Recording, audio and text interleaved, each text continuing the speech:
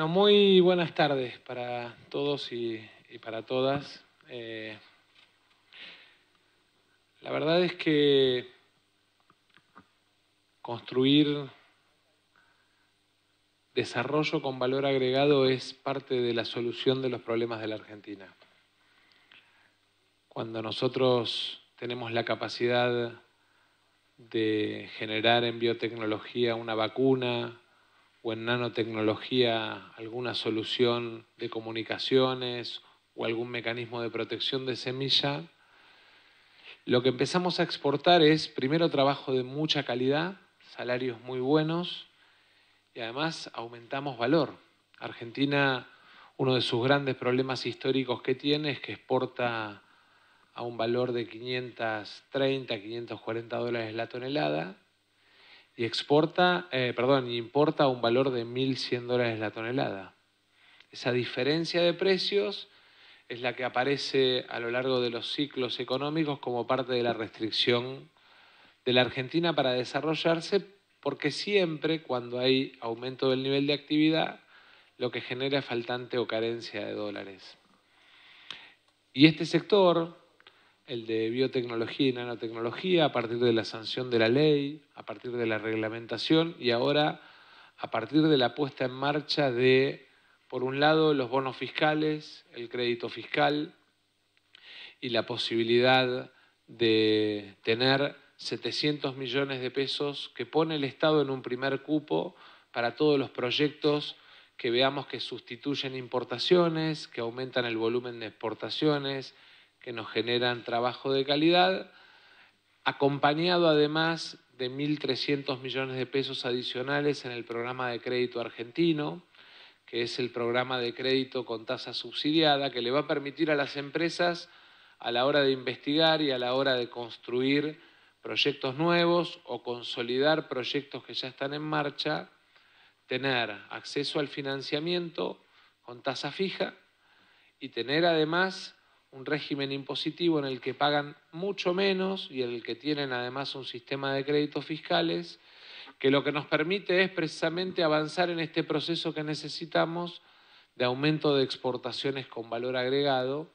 de instalación del talento, de la capacidad, de la creatividad argentina en los mercados mundiales y además de generar incentivos del Estado a la hora de promover lo que se conoce como bio y nanotecnología, que no es ni más ni menos que valor agregado en nuestra producción y en nuestras exportaciones. Es inteligencia aplicada a los procesos de producción y a los procesos de exportación argentina.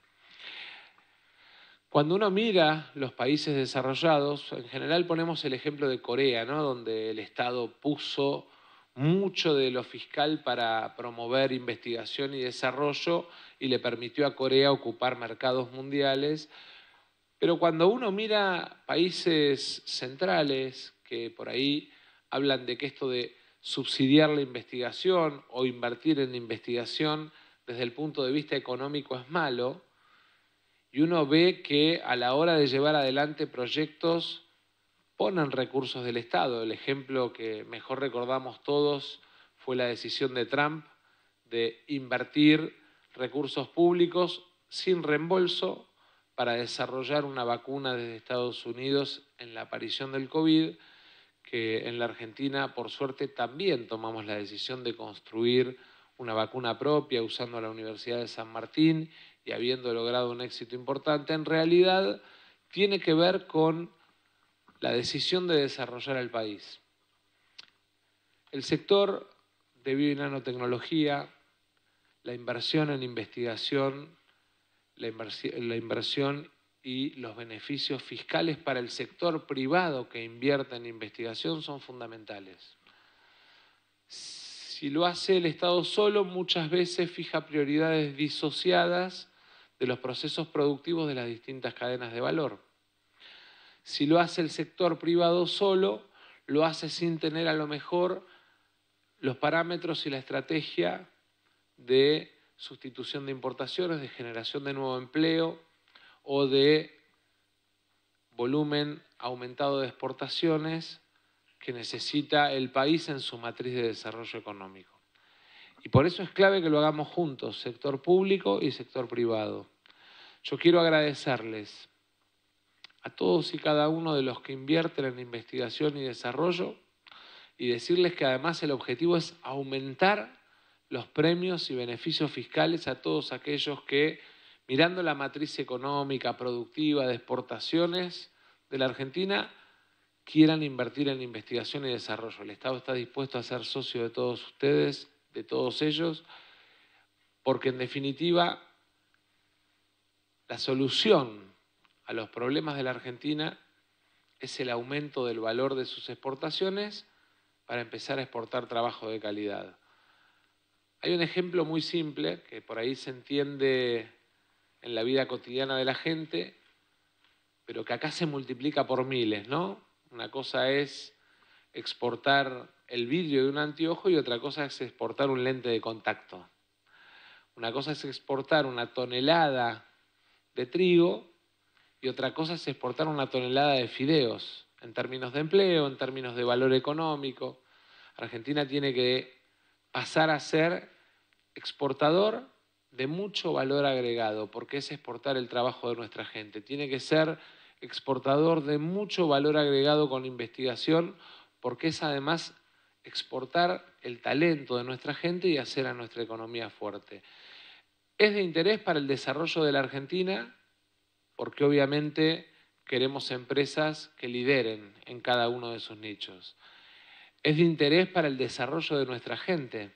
porque en definitiva es aprovechar en la Argentina nuestro capital humano, la inteligencia de nuestros estudiantes y de nuestros trabajadores y su capacidad de emprender, su capacidad, su iniciativa. Pero además es de interés económico de la Argentina porque en definitiva para salir de las crisis recurrentes que cada 5 o 10 años, como ciclos que se reiteran casi como una tragedia, de alguna manera los vamos a superar si tenemos la capacidad de encontrar en cada lugar del mundo el nicho para que el talento, para que la investigación, para el desarrollo de valor agregado de nuestras empresas y de nuestra gente tenga su lugar en el mundo nos genere los ingresos de divisas que necesitamos y haga fuerte nuestra moneda. Yo le quiero agradecer el trabajo enorme al Ministerio de Ciencia y Tecnología, a todo el equipo de Fernando también, a todo el equipo del CONICET, que sé que en muchos casos trabaja de manera articulada con muchos de ustedes, y obviamente a la Secretaría de Economía del Conocimiento, porque además de eh, promover la investigación eh, y promover los estudios científicos y tecnológicos desde lo discursivo, uno habla con los presupuestos.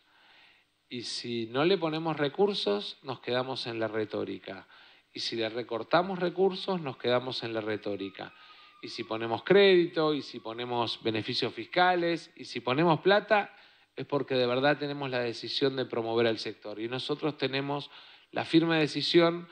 como cuando aprobamos la ley allá por julio del año pasado, de promover este sector para transformarlo en un actor clave de nuestra economía y del desarrollo de la Argentina y de los argentinos. Así que muchísimas gracias y este es un primer paso.